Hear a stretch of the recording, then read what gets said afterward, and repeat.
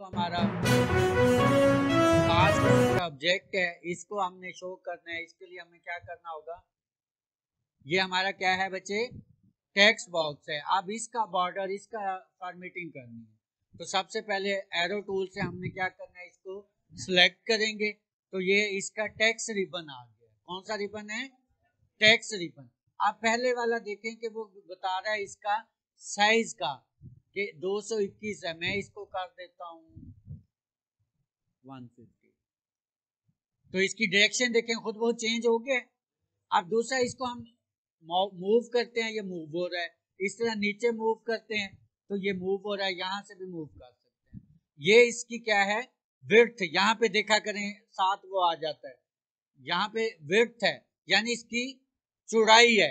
इसको हम कम ज़्यादा करते हैं, मैं कहता हूँ ये चौवन की बजाय साठ कर देता हूँ। एंटर करें। खुला हो गया। इसी तरह ये इसकी हाइट है। यहाँ पे देखें क्या लिखा हुआ है?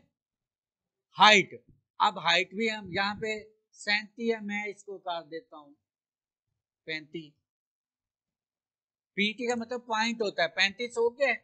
आगे देखें। इनसाइड और फ्रेम इनसाइड और आउटसाइड ये क्या चीज़ है? ये अभी मैं बता देता हूँ। पहले आप इसका बॉर्डर ले लें। यहाँ से आप बॉर्डर सेलेक्ट करेंगे। रेड कलर का बॉर्डर सेलेक्ट कर लिया, लेकिन जब तक आप इसका बॉर्डर का कलर अंदर से वो नहीं सिलेक्ट करेंगे पॉइंट उस वक्त तक नहीं आएगा। मैं इसको यहाँ से क्या लिखा हुआ है नीचे? फिल कलर नहीं, ये वाला। इसका बॉर्डर पॉइंट है बॉर्डर साइज़ इसको मैं कर देता हूँ फाइव एंटर कर देते हैं। नहीं आया जब तक हम ऊपर से इसका बॉर्डर क्या लिखा हुआ है? बॉर्डर पैटर्न नहीं लेंगे। आगे। ओके बच्चे? अच्छा इसके बाद पहले इसी को देख लेते हैं। पॉइंट आ गया, उसके बाद एंगल है या कोई पैटर्न आप लेना चाहते हैं? पैटर्न कलर आप दे दें यहाँ से। ग्रे आगे। ये पैटर्न से ये देखें। लेकिन यहाँ से पैटर्न कलर आप चेंज करेंगे। ये आ जाएगा।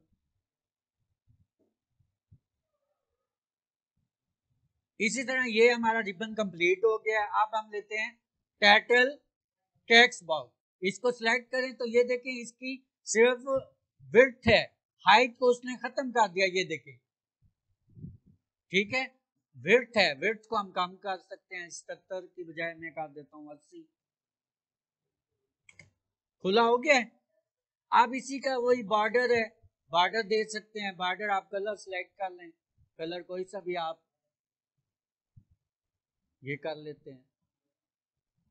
यहाँ से बॉर्डर कलर सेलेक्ट करते हैं।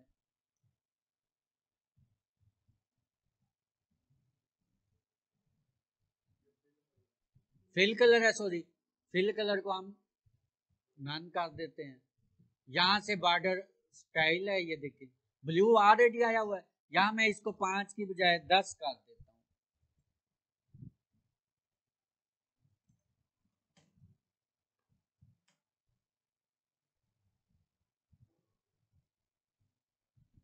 ओके, हो गया। अच्छा यहाँ से पैटर्न आप चेंज कर सकते हैं। ये वाला देख के, देखें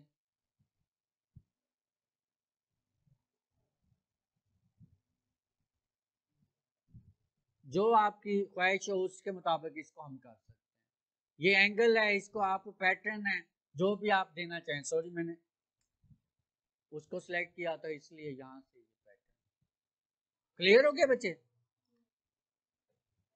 अब इसी तरह हम पिक्चर बॉक्स यहाँ तक क्लियर हो गया, कोई चीज़ रहती है? दोनों की, कि ये हाइट विथ है इसकी, ये उसका साइज़ को मूव करते हैं। ये देखें इनसाइड और आउटसाइड आउटसाइड में क्या होता है, आप इसको सिलेक्ट करें ये बॉर्डर के आउट हो जाता है और ये इन हो जाता है। बॉर्डर यानी उसी के अंदर होगा। यहाँ तक क्लियर हो गया? आप ये पिक्चर का है, इसका भी वही कलर है, सेम आप कलर ले सकते हैं।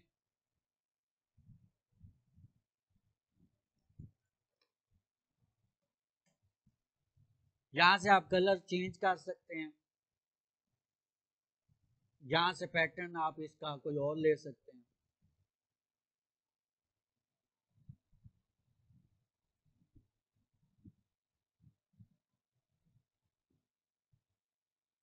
इसका है, इसी का भी कलर आप चेंज कर सकते हैं।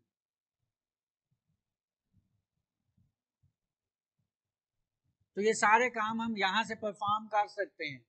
इसको वही पॉइंट बढ़ा सकते हैं। क्लियर हो गया? इसका एंगल हर चीज़ चेंज कर सकते हैं। बैकग्राउंड वाइट जो रखना चाहते हैं आप वो कर सकते हैं। ये रेक्टेंगुलर के बाद राउंडनेस है। इसका भी ऐसे आप पैटर्न यहाँ से पैटर्न सिलेक्ट करें। इसका 15 कर लें। कलर आप ले सकते हैं। ब्लैक की बजाय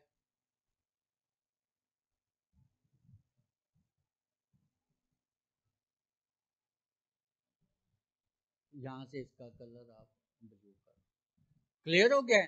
ये थोड़ा सा लाइट कम नज़र आ रहा है, इसको आप बढ़ा के इसको भी दस कर दें। अब इसी तरह ये हमारा क्या आ जाते हैं नीचे? ग्राफिक बॉक्स इसको भी वही सेम है। अच्छा ये शिफ्ट के साथ आप तीनों को सिलेक्ट कर सकते हैं। मैं चाहता हूँ तीनों का एक जैसा कलर दे दूँ।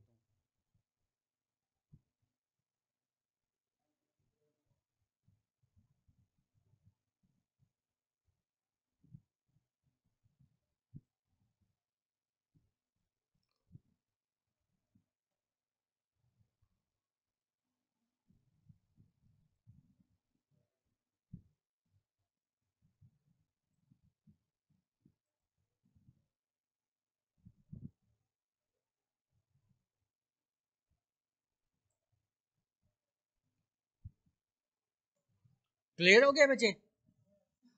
अब उसके बाद हमारा ग्राफिक्स रह गया है। इसको भी हम सिलेक्ट करके वो कर लिया है। उसके बाद हमारा क्या है? इनको थोड़ा सा ऊपर चला गया है। शिफ्ट के साथ तीनों को सिलेक्शन कर लेते हैं। ये की शॉर्ट कीज आप लाजमी याद रखें। इसके बगैर बड़ी परेशानी होती है। आप नीचे पोलीगान बच गए और लाइन बच गए इनको लेता लेता वही सेम है। इसका आप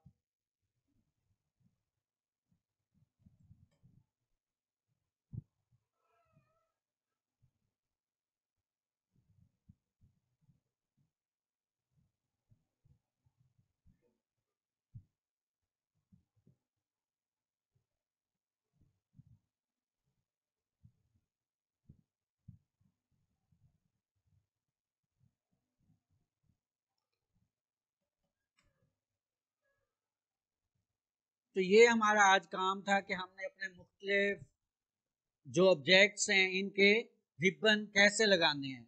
अच्छा ये जो सारा काम परफॉर्म किया है रिबन में आसानी होती है, लेकिन आप यहाँ से डबल क्लिक करके भी ये वही चीज़ आ गया, ठीक है? ये जो हमने दिया इंडिविजुअल यहाँ से आप सारा इसका ऑप्शन परफॉर्म कर सकते क्लियर हो गया है?